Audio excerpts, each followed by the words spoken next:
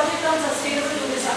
Over to my class, you can just speak to them, share your views for the first 15 minutes and then later on they will ask some questions now.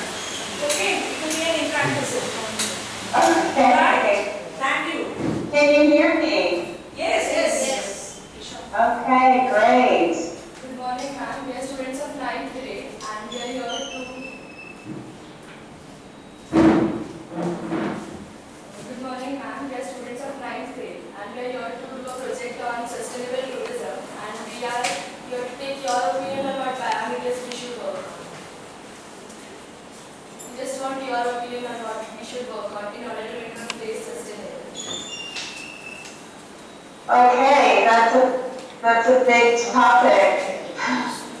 um, I can I can tell you about my experience as a as a traveler, um, someone who is um, tries to be a conscientious um, traveler when I explore new places. Uh, I try to be um, gentle with the environment I travel, the choices that I make when I choose travel destinations and ways that I can travel.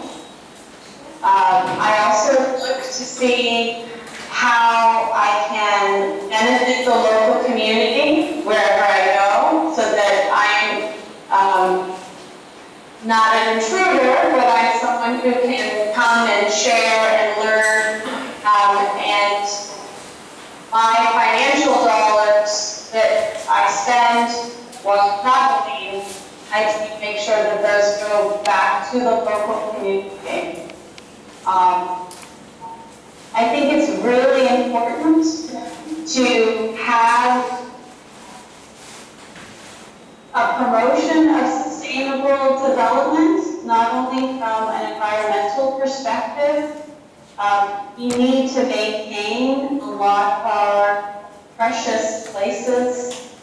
Um, I think that, that our earth is the only place that we have, and we must really take care of it.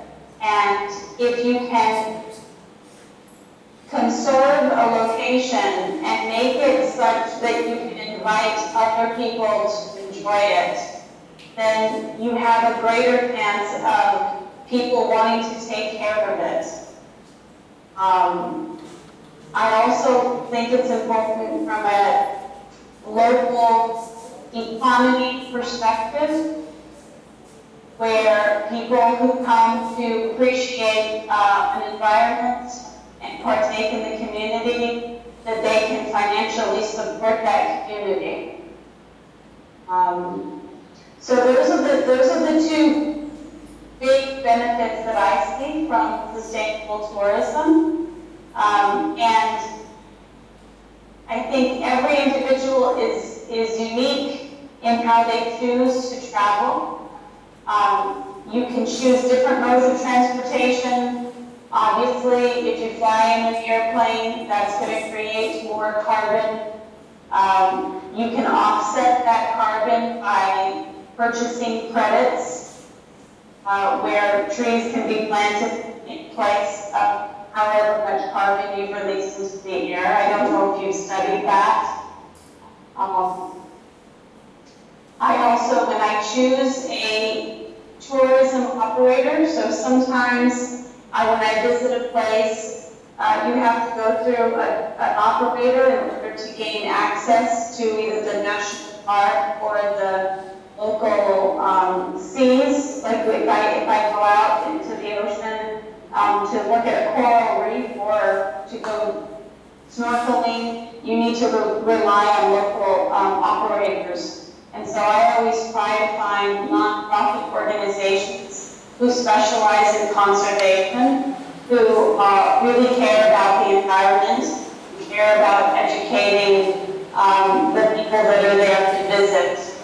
Uh, I think I think that's also very important. Likewise, you can also choose where you stay and where you eat. Um, again, the large commercial hotels uh, they may not be paying their workers a living wage. Uh, the smaller hotels that may be family owned, you, you have a greater chance of having your um, financial contribution go directly to the people that, that work there. So that's my experience. I, I've been very lucky that I work in international development at the field as a career. And so I work with nonprofit organizations all over the world. Um, and I've been very lucky that I, through my work, I've been able to travel to a lot of different places. And um, that is, has really made me appreciate and I do visit another place and their culture, and it makes me think about how I visit and what my impact is when they go. And I, I try to share those best practices with people um, who also travel.